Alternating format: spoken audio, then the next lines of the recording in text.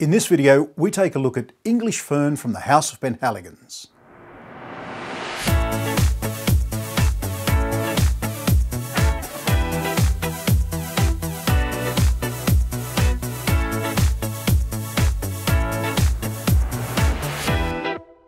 Penhaligon's is an English perfume house. It was founded in 1870 by William Henry Penhaligon, a Cornish barber who moved to London and who became a court barber and perfumer to Queen Victoria. In 1941, the original shop in Jermyn Street was bombed during the Blitzkrieg, and a new Penhaligon shop was opened in 1975 in Covent Garden by Sheila Pickles with the help of the Italian film director Franco Zeffirelli.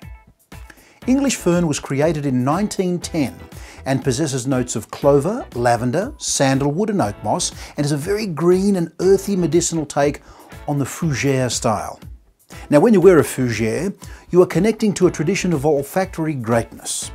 They smell resolutely masculine and correct, good to be around, secure and sexy.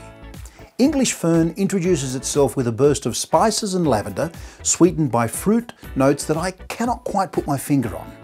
The lavender soon disappears, leaving room for a very distinct licorice note and some barbershop soap to blend with the remaining evocative spices. The scent remains linear for most of its duration before fading into a sweet vanillic, woody dry down. This is a very pleasant conservative fougere, the kind of scent that one can wear to the office or to dinner with no fear of offending anybody. It smells like freshly washed soapy skin. Gentlemen, in a crisis, you'd want to be a fougere kind of guy. And ladies, you'd want a fougere shoulder to cry on.